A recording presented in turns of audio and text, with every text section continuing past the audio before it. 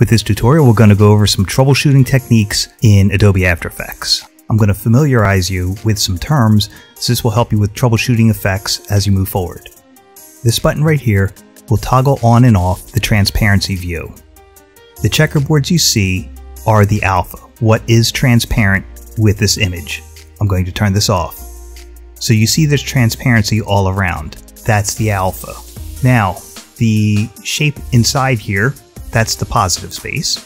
And this red box you see around it is called the bounding box. So even though I've got all this transparency around this shape and the letter A is a triangle, it will always make a rectangle or a square to set the bounding box, showing the full amount of space that what's inside this is used by the program.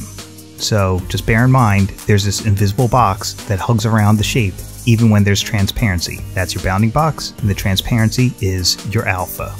And by now you should be familiar with the term pre-comp. Pre-comp is to pre-compose things, and you do that by selecting one or more layers in your timeline, right-clicking, and choosing pre-compose. And almost all the time you're pre-composing, you're going to want to move all attributes by clicking the move all attributes button, and you can rename it. I usually put PC at the end so I know it's a pre-comp, and then click OK. And now you see I've got a pre-comp layer. That's how you create a pre-comp. Pre-comps are very useful when you're working with mattes because mattes are one layer revealing another layer. And if you've got multiple layers making up that matte or the reveal, pre-comps are the way to troubleshoot that. Now I'm going to undo this pre-comp I made and I'm back to my text layer. I'm going to apply CC light rays to this and I'm going to move the origin point of the light rays.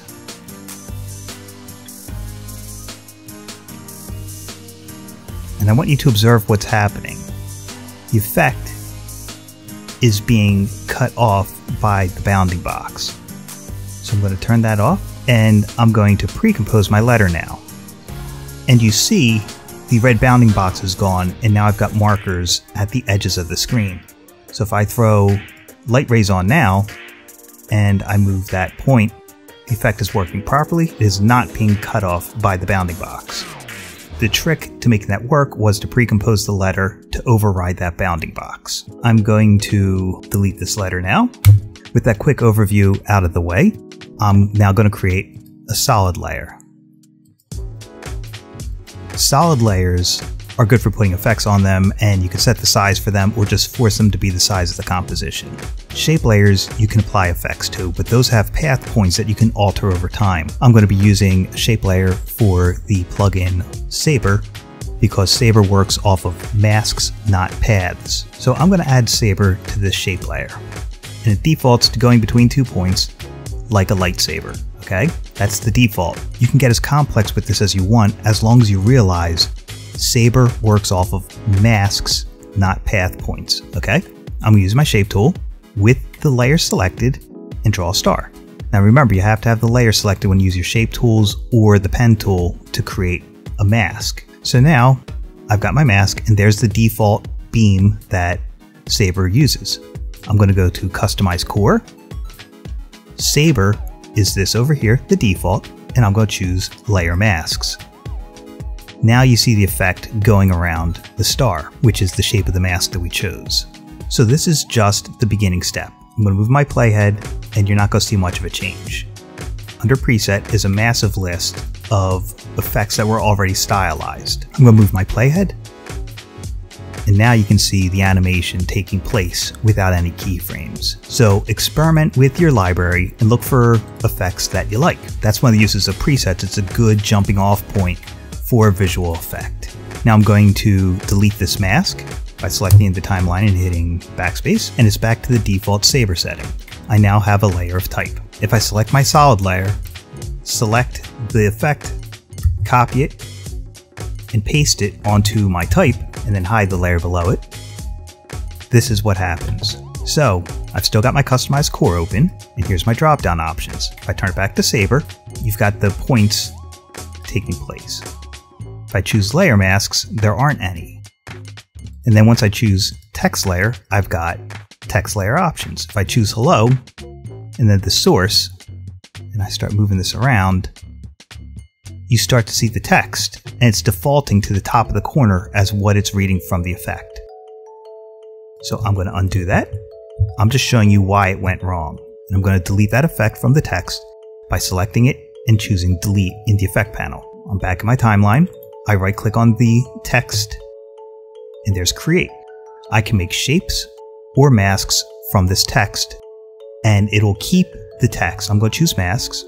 There's my text, it's hidden, and here's the outlines for it. Shapes are useful if you're going to be animating shape paths or using those to create alpha mattes, but for this, we already know we need masks for this to work. I'm going to paste that saber effect into the mask layer. And it automatically recognizes these masks. And you can see it animating around when I move my playhead. Now, you've got the bare idea of what this program can do. I'm going to show you something a little more intricate. So, here's my H, and here's my mask path for the H. I just twirl down my menu options to get there. Move my playhead to where I want my animation to start, click my stopwatch, and move forward a little bit. Now this is a clean, perfect keyframe for the letter H. That's important. You always want to have a clean keyframe to go back to when you're distorting a letter. So watch what happens here. I held down the shift key so that I could deselect that one point, and now I'm going to hold down shift to select another one. I'm going to expand that out. I'm going to move forward. I'm going to select these points using the shift key. Move that down, move forward in time, move these path points, move forward in time, and change those. So, watch what happens. Since the layer masks was selected, that worked. Watch what happens if I choose text layer, then hello. It's reading the default mask, but not the animation for it. So if you change the shape of your layer mask over time, make sure you have it set to layer masks, and now you see it working off of the path that you animated. So you can animate and morph your mask paths. Make sure it's set to that layer mask, and the effect will follow even as you change the shape of the path. So now you know how to apply to a basic mask or converting text to a mask. Now, let's focus on dialing in the effect a little bit with the glow. I'm in my project panel. When you're working with light effects, and this is considered a light effect because it uses glows, you want to change your bits per channel. It should always be at 32 bits per channel. And you get there by holding down the Alt or Option and clicking on it. So first I'll go to 16, then you do it again, and now you have 32 bits per channel and you'll get more high dynamic range inside your glow. Now when you're working with an effect, I always go big and I make a drastic change and then I dial down to make it more subtle. So if I increase my spread, it's thinning out the effect because the spread is going too far. So now I know I can make it that if I want, or add a little bit more glow based off of that. Then the bias you see is bleeding too much into the glow, and if you go too low, there's not that nice halo around it. So I'm going to undo that. The core size. If you dial it down too low, the entire effect disappears. The core will activate the amount of distortion and distress you see around the letters. Always remember the numbers that you started off with so that you can go back to them if you go too far. And don't forget, everything with a stopwatch can be animated over time. Just click that stopwatch, move your playhead, and make a change. We've covered trim paths before with shape layers. And that would be my offset here. You can trim path on this effect, should you choose to, by choosing which end you want to start at, the start offset or the end offset. Okay, that's how you get your trim path. So let's just say for this, we want this to animate on like we did and then animate off. So I'm going to do my end offset, click that stopwatch, move forward in time, and then set it to whatever amount I want to get rid of the trim path. I'll do a full one And then I'll have it draw back on by clicking the other stopwatch, then animating that one. So zoom out a little bit using the mouse wheel.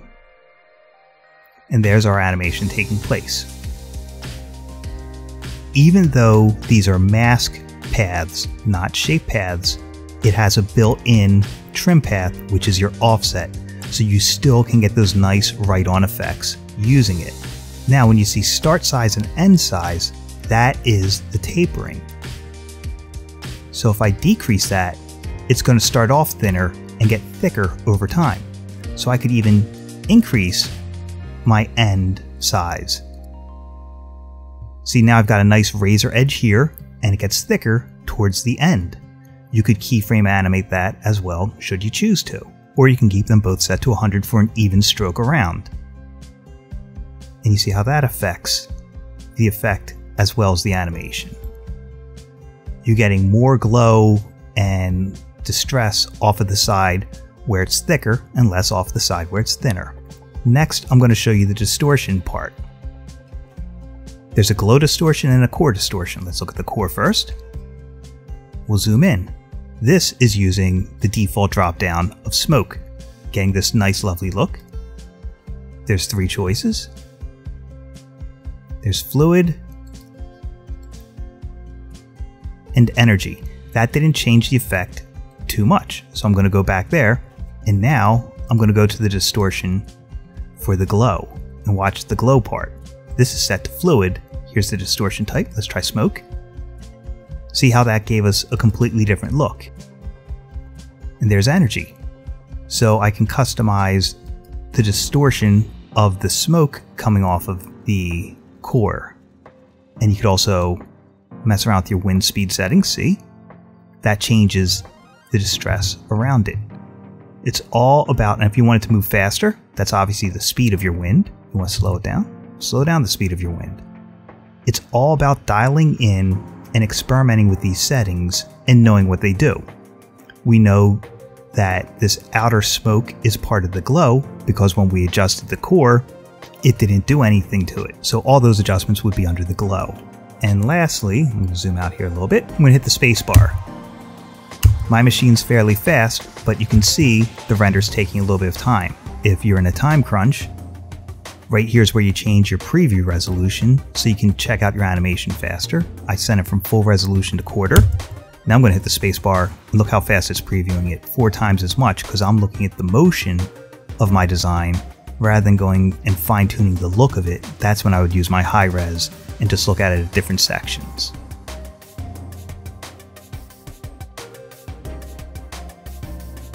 I'm going to pause it there by hitting the spacebar. I'm going to preview the alpha. And we can see that alpha has been disabled.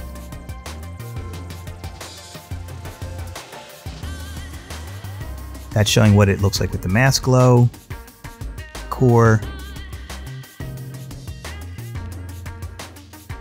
like such. So if I want this to be transparent over something, I'm going to make a new solid below it, just so you can see what's going to happen. And I'm going to make this blue. Here's my blue solid. I'm going to put it below it.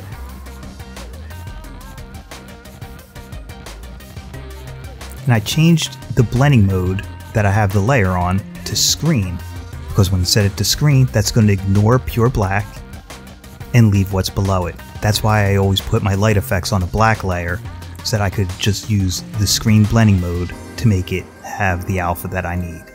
So you can put this over video or whatever you want, and now it's transparent. I'm going to press the U key so you can see all my keyframes. And don't forget, if you want to get smoother, more professional motion, select all your keyframes, right click Assistant, Keyframe Assistant, and easy ease your keyframes to get a better motion in and out of them. And there you have the finished result. Now, if I were to use this as a callout, I'm going to hide this layer, we're going to review everything, pretend this is your video clip, the blue. I'm going to put a new solid over top of it, make sure it's black for the blending mode, and I'll call this Saber. Make comp size, hit OK. And if I throw Saber on here, I'm going to put these layers we're not using below it. So if I put Saber on my black solid, it's going to default to that beam which is under your custom core Saber. We're going to use a mask. Remember, you have to have the layer selected. This time I'm going to use the pen tool. And we're going to pretend we have an elliptical draw on happen. So I'm going to make my points. I'm not going for pretty. I'm just going for showing you how to fix this up. So what had happened here was I got a straight point instead of a Bezier curve point. I fixed that by going to my convert vertex tool. So this is going to be the shape for a sample draw on highlight callout. It's still recognizing the saber. I'm going to select the layer and hit the M key, and you see it right there, there's our mask. So if I go to layer masks, now it's going to follow that mask shape. And we already know start offset is the trim path. So it's going to come from that end point. So animating the start offset, it'll come from the second point and close around the first. And if we animate the end, it'll start from the first point and go to the last. That's the look I want. This is just for my example I'm giving you. I'm going to click the stopwatch after I've moved the playhead, so I move the playhead, click that stopwatch, and go to whatever time I want it. Let's say up there, make it 100%. And now we've got that lovely draw on, just like it was a trim path. We've still worked in the 32-bit color space. And now I can start messing around with my drop-down preset settings. And I'll just do Kryptonite just for a different example. And that's what that callout looks like.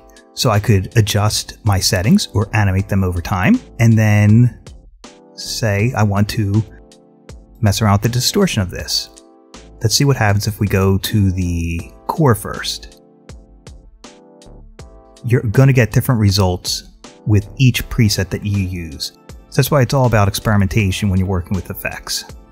See what happens now? You can notice it more. It's flying off the side more like liquid coming off. So I'm going to distort that a little bit less. And here's our type, there's energy. Let's try smoke. See, now we're starting to see a difference in this. Let's try fluid. See? Completely different look that you're making more customized based off of your presets. Now, let's change the wind direction, and that's going to affect the glow. And we're going to lower the noise speed a little bit. I can make this even more complex if I want. I can increase the complexity, should I choose to. Now I can start dialing in the look for my glow, which is what's popping off the sides of the core. Set to fluid, let's try smoke. Let's try energy. So I'm going to do energy, and you're already seeing how you can get your own customized looks. Now I'm adjusting the wind direction. So find something similar to what you want and then make it your own just to help it stand out a little bit more. And let's try the noise bias, change that up a little bit. And lastly, before I preview that, I'm going to change the color. And that's right here under glow color. Let's say we want this to be more blue. Now the whole effect has the color of what we want. And the last step would be to change the blending mode to screen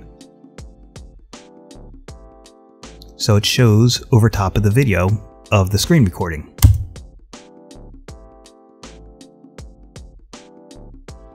So that's tying it all together, adjusting the presets, and then experimenting with them to get the look that you want. And remember, go big with your changes, see what it does, then dial it down to make it more subtle for the look that you want. And that's how you can go from a straight out of the box custom preset to making it a little bit more original and your own, and also to tie into your project or visual effect better as well.